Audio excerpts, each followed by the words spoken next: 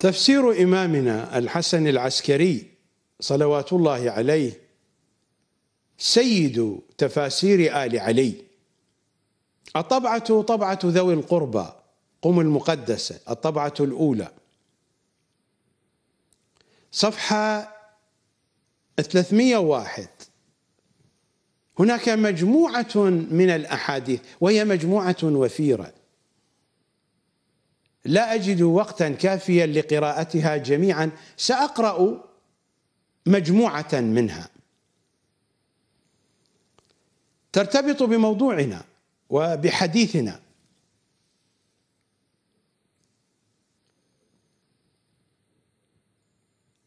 عن رسول الله صلى الله عليه وآله. رقم الحديث 189 أفضل والديكم.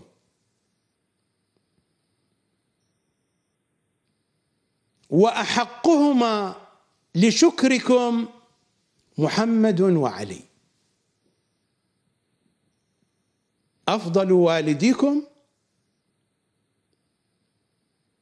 نحن عندنا والدان بحكم الانتساب الأسري. أبي وأمي بحكم العرف بحكم علائق الزواج الاجتماعي.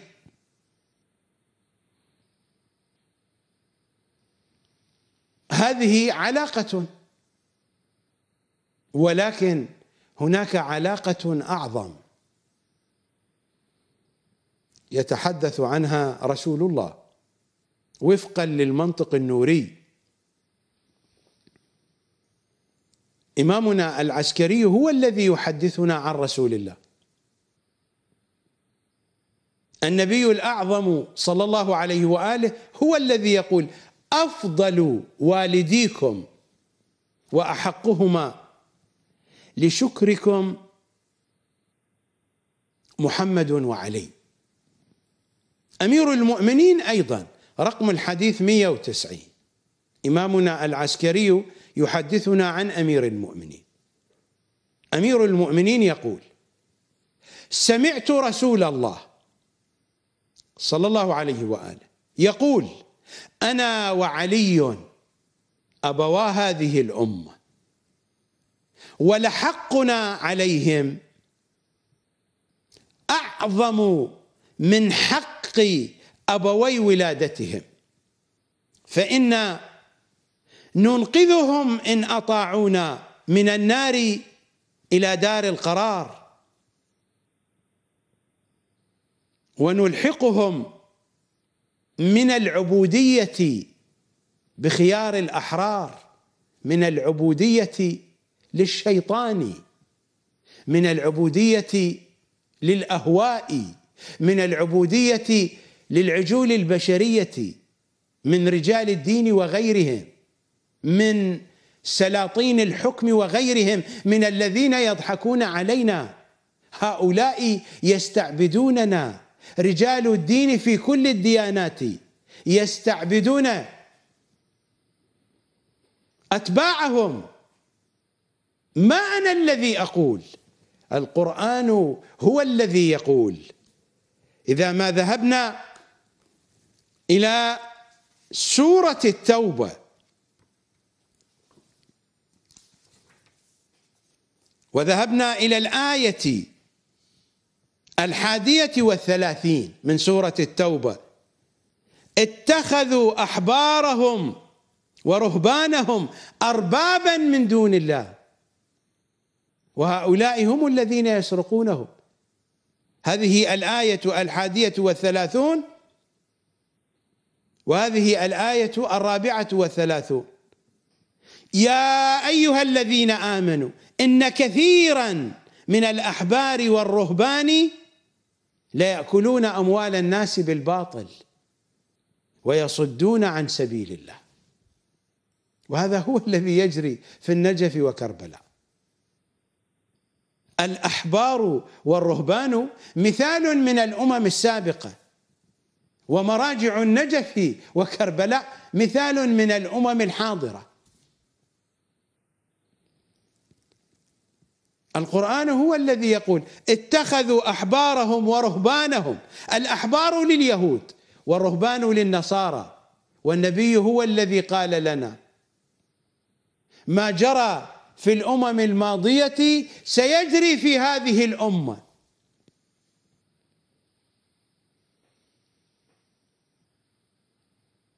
حذو القذة بالقذة وحذو النعل بالنعل. القذة هي ريشة السهم. فإن للسهم ريشات في آخره. لا بد أن تكون هذه الريشات متساوية كي ينطلق السهم بصورة دقيقة. وإلا إذا اختلفت الريشات فإن السهم لن ينطلق بنحو ناجح. حذو القذة بالقذة وحذو النعل بالنعل.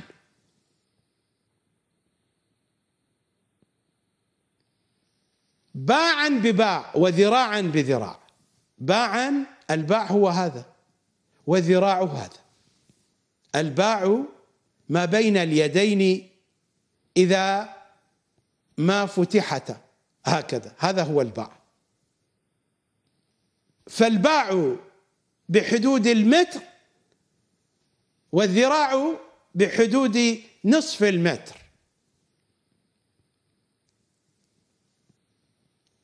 فما جرى في الأمم الماضية يجري في هذه الأمة حذو النعل بالنعل وحذو القذة بالقذة. باعا بباع وذراعا بذراع ولو أنهم دخلوا جحر ضب لدخلتم فيه. فسألوه سألوا رسول الله هل هم اليهود والنصارى؟ فأجابهم بالإيجاب وقال وهل الناس إلا هم إلا هؤلاء؟ فما جرى على الناس على الأمم السابقة سيجري في هذه الأمة. وهذا هو الذي يجري فينا. اتخذوا أحبارهم ورهبانهم أربابا من دون الله. المخالفون لأهل البيت اتخذوا الصحابة اربابا من دون الله. وبعد ذلك اتخذوا رؤساء المذاهب كأبي حنيفة والشافعي اتخذوهم اربابا من دون الله. واتخذوا علماءهم في زماننا. وكذا الشيعة في زمان الغيبة اتخذوا مراجع الدين وفي زماننا أضافوا إليهم زعماء الأحزاب ورجال السياسة في الوسط الشيعي. فاتخذوا هؤلاء اربابا من دون الله لأنهم يشرعون لهم دينا ما هو بدين الله. دين مراجع النجف وكربلاء ما هو بدين صاحب الأمر؟ إنه دين جاءوا به من الشوافع والمعتزلة. اتخذوا أحبارهم ورهبانهم اربابا من دون الله وبعد ذلك سرقوا أموالهم. يا أيها الذين آمنوا إن كثيرا من الأحبار والرهبان ليأكلون أموال الناس بالباطل ويصدون عن سبيل الله. فضائياتهم مؤتمراتهم وكلاؤهم حوزاتهم. تطعن في الأئمة. كتب مراجع الدين مشحونة بالانتقاص من محمد وآل محمد. من الطهسي إلى السيستاني. وهذا كله قد بينته بالحقائق والوثائق من كتب مراجع الشيعة أنفسهم. عودوا إلى برامجي واطلعوا على الحقائق. أخاطب الذين ليسوا هم على علم بهذه الحقيقة. وعلى عينك يا تاجر. عودوا إلى الحقائق وتتبعوها بأنفسكم. ارحموا أنفسكم. ارحموا أنفسكم. أقولها لكم صريحة وواضحة.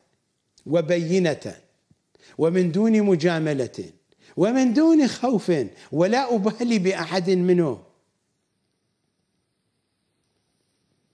أبعد نقطة عن إمام زماننا مراجع النجف وكربلاء. إمام زماننا هنا وهم هنا. كلما اقتربتم منهم كلما ابتعدتم عن إمام زمانكم. كلما ابتعدتم عنهم كلما اقتربتم من إمام زمانكم. أقول هذا الكلام عن تحقيق. أنا لست سياسيا ولست في مقام إطلاق الدعايات. هذه حقائق وقد أثبتها بالأدلة والوثائق. عودوا إلى برامجي. وستجدون الحقائق واضحة من كتبهم من كتبهم. من كتب الماضين ومن كتب المعاصرين. حين أتحدث عن السيستاني أنا أتحدث عن كتبه. لا أتحدث عن شيء آخر. أنا لست سياسيا حتى أحلل لكم. لا علاقة لي بالتحليلات السياسية. أنا أنقل لكم الحقائق. والوقائع بالوثائق وبالأدلة والشواهد والبراهين. وبإمكانكم أن تعودوا إلى برامجي لماذا لا يستطيعون أن يردوا عليها؟ لأنها حقائق. لا يستطيعون أن يردوا عليها. وإذا ما تورط أحد منهم ورد على تلك الحقائق فإنني سأفضحه. وسآتي بأدلة جديدة. وهم يعرفون هذا. ولذا هم سكوت سكوت. هم خرس سكوت. لا ينطقون لا يستطيعون مواجهة الحقائق هذه.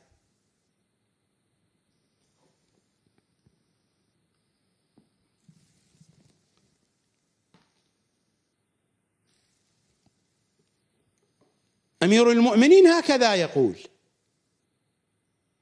نقلا عن رسول الله صلى الله عليه وآله أنا وعلي أبوا هذه الأمة ولحقنا عليهم على الأمة أعظم من حق أبوي ولادتهم. فانا ننقذهم إن أطاعونا من النار إلى دار القرار ونلحقهم من العبودية من العبودية لهؤلاء السفلة من رجال الدين بخيار الأحرار.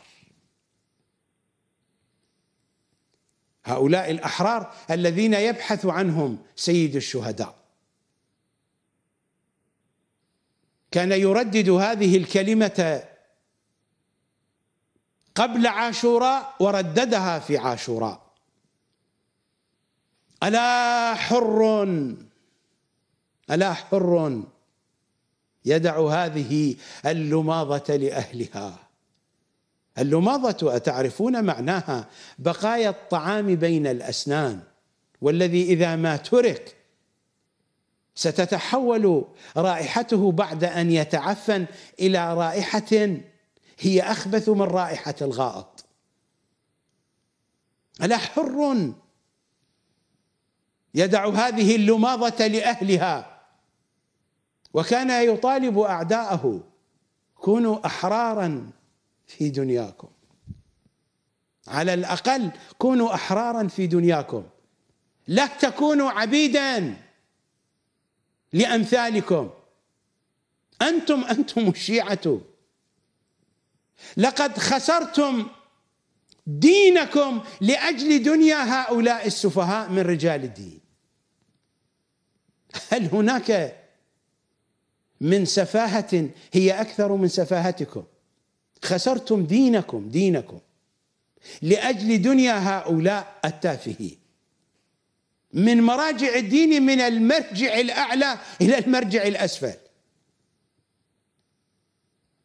هؤلاء عندهم دين لكنه ما هو بدين محمد وآل محمد؟ إنه دين الطوسي والطوسي رجل شافعي. شافعي مئة بالمئة. قد يكون منتميا إلى الشيعة اجتماعيا لكنه منذ نعومة أظفاره تعلم الفكر الشافعي ونشأ في الوسط الشافعي وبقي شافعيا. ولذا علماء الشوافع في كتبهم ماذا يقولون؟ عن محمد بن الحسن الطوسي. إنه شافعي وصار رئيسا للإمامية. عودوا إلى كتبهم. اقرأوا كتب الشافعيين. حينما يتحدثون عن رجالات الشافعيين وهم صادقون في ذلك. هم صادقون. كان شافعيا وصار رئيسا للإمامية. فدين حوزة النجف هو دين الطوسي. ودين الطوسي دين شافعي صرف. لذا فإنكم تقولون من أن الشوافع يشبهوننا. الشوافع لا يشبهوننا. الشوافع ناس مستقرون في أماكنهم لهم دينهم. نحن نشبههم. نحن الذين ركضنا وراءهم. مراجع النجف ركضوا وراء الشوافع فجاءونا بدينهم. هذه هي الحقيقة من الآخر. أنا أسألكم. الأوقاف الكويتية والإخوان المسلمون في الكويت لو لم يعلموا أن محمد باقر الصدر وأن النجف تفتي على طريقة الشوافع هل يوجهون إليهم؟ سؤالا حول تأسيس المصارف والبنوك بطريقة إسلامية؟ لو كانوا يعلمون من أنهم يصدرون الفتاوى وفقا لمنهج العترة الطاهرة والله ما وجهوا إليهم سؤالا. لكنهم يعرفون هذه الحقيقة. من أن محمد باقر الصدر يفتي على طريقة الشوافع. فلذا وجهوا السؤال إلى النجف. وأجابهم محمد باقر الصدر بالجواب الذي طبع في كتاب بعد ذلك. البنك اللاربوي في الإسلام أو الذي قد يقرأه البعض البنك اللاربوي في الإسلام. القراءة الأدق هي هذه البنك اللاربوي في الإسلام. هذا كان جوابا من النجف وفقا لموازين حوزة النجف. وفقا لموازين المنهج الطوسي. فهؤلاء الإخوان المسلمون حينما أسسوا بنكهم في الكويت الذي عنوانه بيت التمويل الكويتي ولا زال موجودا إلى الآن أسس على فتاوى محمد باقر الصدر. لو كانوا يعتقدون أن محمد باقر الصدر يفتي بمنهج العترة. والله ما وجهوا إليه السؤال. لكنهم يعرفون أن النجف تفتي بحسب المنهج الشافعي. ومن هنا وجهوا السؤال إلى النجف. لا فارق عندهم أن يوجهوا السؤال إلى الأزهر أو أن يوجهوا السؤال إلى النجف. لهذا السبب أقول لكم من أن السقيفة سقيفتان. هناك سقيفة بني ساعدة يمثلها الأزهر وهناك سقيفة بني طوسي تمثلها حوزة النجف يمثلها مراجع النجف وكربلاء. هذه هي الحقيقة المقشرة من الآخر.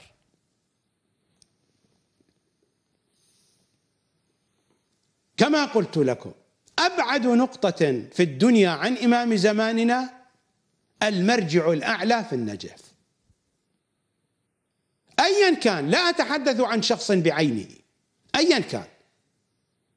إن كان الموجود حاليا أو كان الذين سبقوا أو الذين سيأتون من بعده. المرجع الأعلى في النجف هو أبعد نقطة عن إمام زماننا. والنقطة الأكثر عداء لمنهج إمام زماننا المرجع الأعلى في النجف. بقدر ما تقتربون منه بقدر ما تبتعدون عن إمام زمانكم. بقدر ما تبتعدون عنه تقتربون من إمام زمانكم.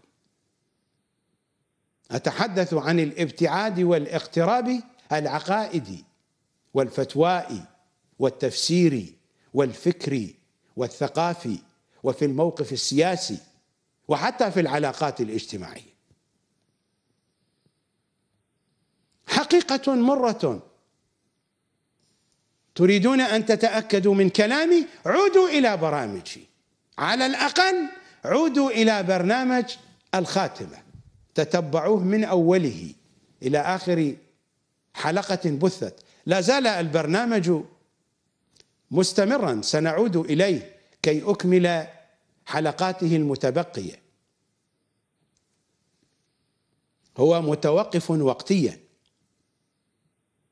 عودوا إلى هذا البرنامج وتابعوا حلقاته من أولها إلى حيث توقفت الحلقات.